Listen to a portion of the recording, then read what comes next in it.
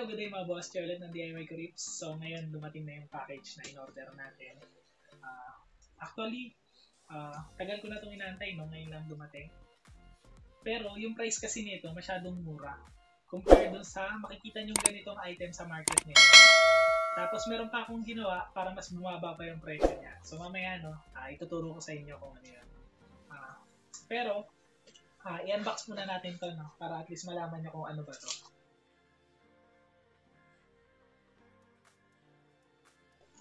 So, after ng plastic, may karton.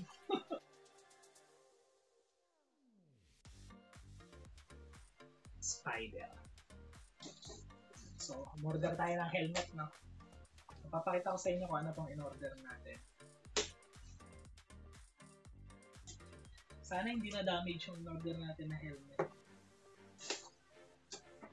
Kasi, oh, may dent sa ilalim. Mukhang nabalibag yung kahon natin.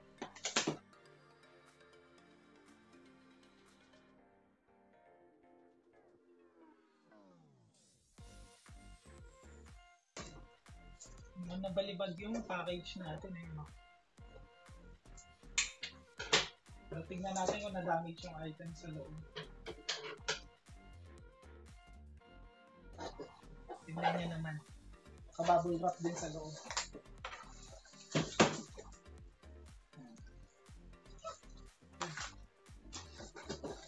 Merong free visor. Yan. Clear. Clear visor.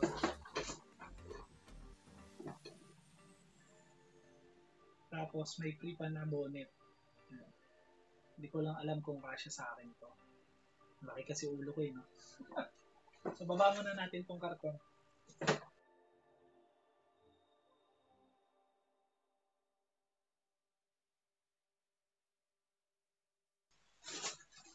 Yun. Ito na. Sana hindi na damage sa loob.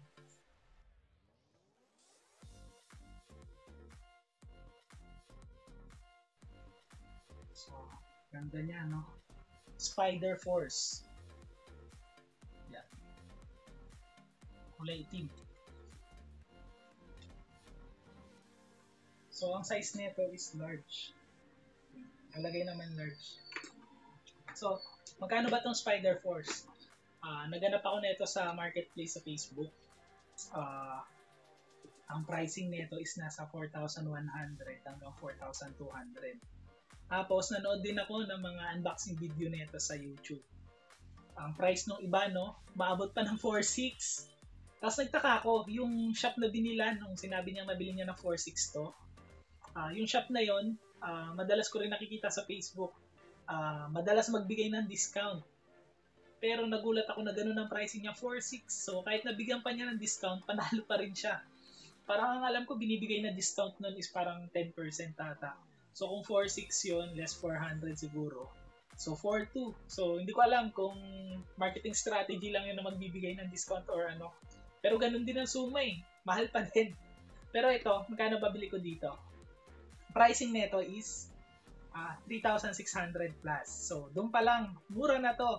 Compared sa makikita nyo sa marketplace na 4,000, 4,200, 4,100. So, doon pa lang, mura na to. Uh, ang presyo is 3,600 plus. Tapos, uh, saan ko ba in-order to? Uh, in-order ko to sa Shopee. So, ilalagay ko na lang yung shop na pinagbilang ko dito. Yan. Uh, tapos, ang gagawin nyo, para mas makamura pa kayo, ita-timing nyo na sale ang Shopee. It's either dun sa mga 10-10, 11-11, 12-12 sale nila.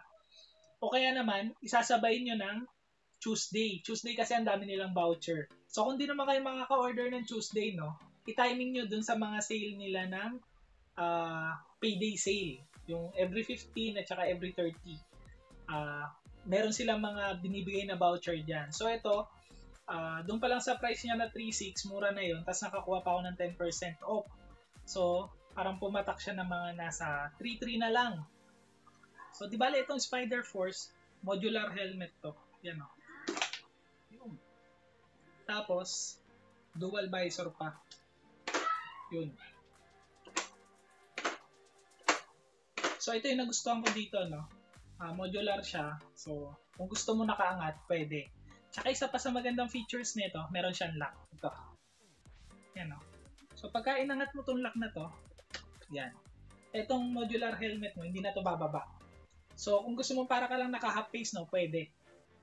So kahit na malubak ka, hindi to babagsak kasi may lock. So kailangan mo munang hilahin pababa yung lock. Yan. Bago mo mababa yung pinaka-modular helmet mo. Yun o. So, gandang features din. Tsaka nasanay kasi ako sa half face, no? Kasi yung current na ginagamit kong helmet ngayon, half face lang yun.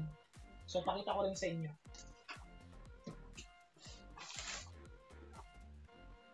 Ito. Yan, half face. Spider din. Actually, ito, hindi ko to binili. Uh, binigay lang to nung ate ko. Yan. Uh, nung binili ko kasi yung NMAX ko, no, second hand lang yun. So, wala nang kasamang helmet. Tapos, uh, nasagad talaga yung budget ko nun. So, wala na akong pambili ng helmet. Hinihingian ko yung ate ko ng helmet. Meron kasi siyang isa pang helmet, parang blue-black combination yun, na puro gas-gas. So, ayun yung hinihingi ko sa ate ko. Pero ito yung binigay niya sa akin. So, siya yung gumagamit ng blue-black na helmet. Binigay niya to sa akin kasi sabi niya, ano, ganda daw ng motor ko tapos pangit yung helmet. So, hindi daw bagay. So, ang binigay niya sa akin, ito. Yung maganda niyang helmet. Tapos siya yung gumamit nung puro gas-gas na helmet na. Yan. So, ito may sentimental value sa akin to. Yan. So, since na bumili na tayo ng bagong helmet, ito, sawa ko na yung gagamit nito. Yan, pwede na siyang umangkas sa akin. Kasi wala siyang helmet, so hindi siya makaangkas sa motor. Ngayon, pwede na siyang umangkas sa akin. So, half face lang. So, okay din to sa kanya. Sinukat niya na to, kasya to sa kanya. Ang kinaganda pa dito sa Spider Modular Helmet natin, no? Yung Spider Force natin. Siyempre, aside dun sa dual visor na siya, modular siya. Ito, kung makikita nyo, meron kasi siyang mga air vent, no? Yan. Tapos, makita nyo, meron din dito sa likod. Yan. Di bali, pagka mainit yung loob ng helmet mo, pagka pumasok yung hangin dito, merong hangin na lalabas din dito. So parang nangyayari, nagkakaroon ng circulation ng hangin sa loob. So napapalitan na napapalitan ng bagong hangin yung nasa loob ng helmet. So medyo lumalamig yung loob ng helmet. Tapos isa pa, to, itong ilalim mo. Oh. Yan. So may cover na siya dito. Unlike dun sa ibang helmet, walang cover yung dito. So ito is parang noise cancellation daw. So pagka nagmumotor ka, hindi siya ganun kaingay. Yan. Kasi nga, inaharangan na nito. So kung plano nyo mag-motovlog, okay na okay to.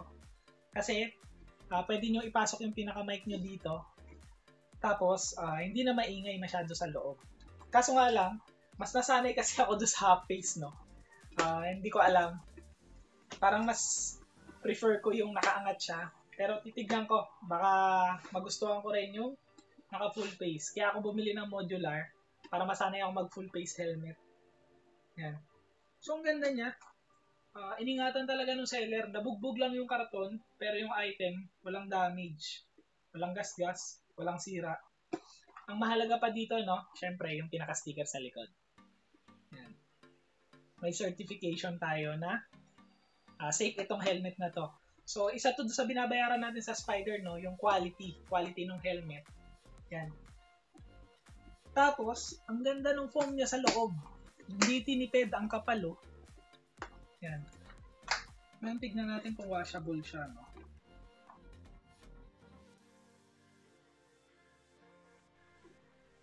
So, washable yung mga pads niya. Tatanggal, removable. Yan. So, hindi ko natatanggalin lahat, no? Bago pa naman siya, hindi ko pa naman siya lalaban. Pero maganda siya washable. Tapos quick release yung pinaka lock sa leeg. Ayos. So kung gusto niyo makabili ng murang helmet, no, doon kayo bumili doon sa binilang ko nitong shop.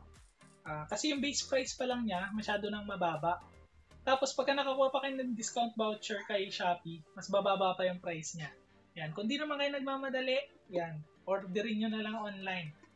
Maganda siya. Tapos legit pa, original. Yan o. Oh. Tapos ito pa pala check nyo tong likod, oh. To, reflectorize to. So, syempre, pagka nakasuot na yung helmet natin, kaganyan yan, no? So, pagka to, tinamaan ng ilaw, reflectorize. So, dagdag visibility sa gabi. So, may sukat natin, no? Pakita ko sa inyo itsura. Yan, no? Sakto yung fitting, no? Di umaalog. Yun.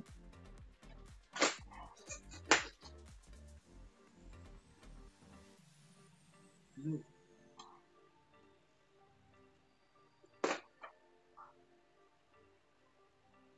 Low.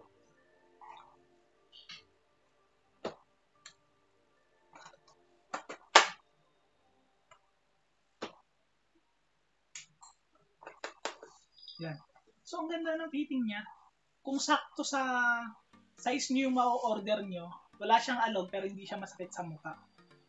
Yan. Kasi ang ganda ng pads niya sa loob, no? Ang kapal. Yan. Parang hindi talaga tinipid.